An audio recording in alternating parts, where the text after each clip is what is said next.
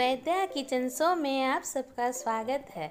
आज हम बर्गर बनाएँगे। इसके लिए हम एक के जी आलू उबला हुआ लिए हैं। इसे हम अच्छे से मैश करेंगे और इसमें 250 ग्राम सोयाबीन चंक्स को उबालकर अच्छे से धोकर इसे हम मिक्सी में ग्राइंड कर लेंगे और इसे इसमें मिक्स करेंगे। अब स्वाद अनुसार हम नमक डालेंगे, काली मिर्च पाउडर आधा चम्मच।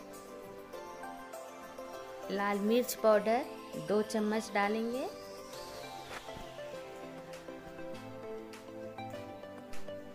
जीरा पाउडर एक चम्मच।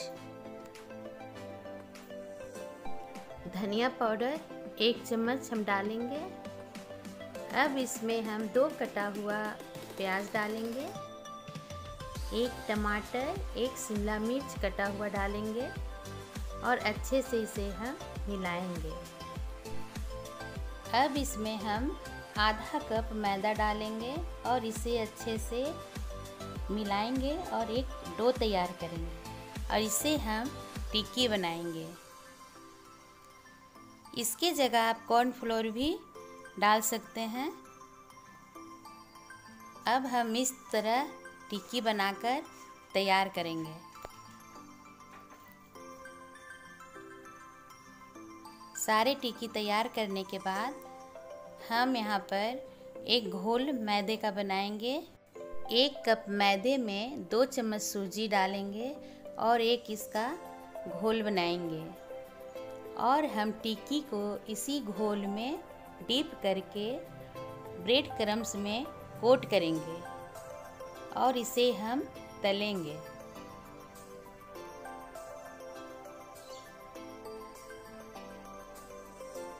यहाँ पर एक कढ़ाई में हम तेल गरम करेंगे और इस टिक्की को इसमें हम तलेंगे। ये ब्राउन हो चुका है, इसे अब हम प्लेट में निकाल लेंगे। आप चाहें तो टिक्की को सेलो फ्राई भी कर सकते हैं। अब यहाँ पर हम सीजनिंग तैयार करेंगे। इसके लिए दो चम्मच काला नमक, एक चम्मच औरगिनो और एक चम्मच चाट मसाला डालेंगे और इसे अच्छे से मिलाकर रख देंगे। बर्गर की हम अब प्लेटिंग करेंगे। इसके लिए हम प्याज, शिमला मिर्च टमाटर काट के रख लिए हैं और हरी चटनी, स्पाइसी वाली बनाए हैं और मीठी वाली लाल चटनी।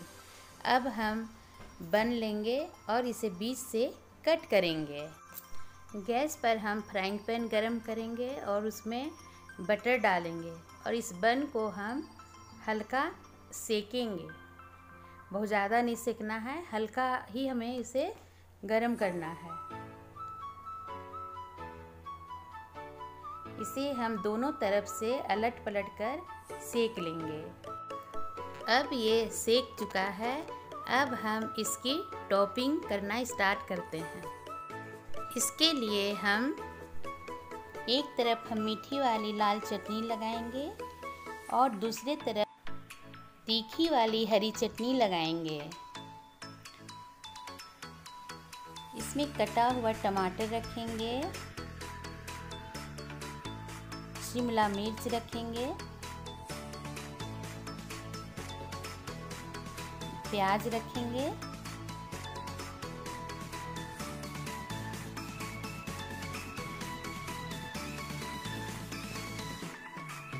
और जो टिक्की हमने बनाया था, इसे इसके ऊपर रखेंगे। अब हम इसके ऊपर मेयोनीज लगाएँगे।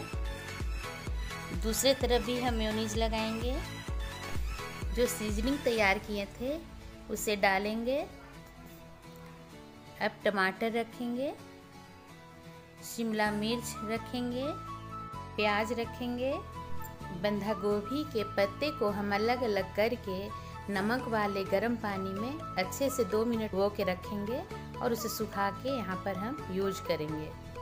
और फिर हम इसे दूसरे पाव से कवर कर देंगे। अब हमारा बर्गर बनकर तैयार है। इसे आप सॉस, हरी चटनी, लाल चटनी, किसी के साथ भी जो आपको पसंद हो इंजॉय कर सकते हैं। बर्गर बच्चों का फेवरेट है और इसे हम आसानी से घर पर बनाकर अपने बच्चों को खिला सकते हैं। इसके लिए हमें बाहर जाने की भी आवश्यकता नहीं है। मेरी रेसिपीज़ आपको पसंद आए तो मेरे चैनल को लाइक शेयर एंड सब्सक्राइब करें।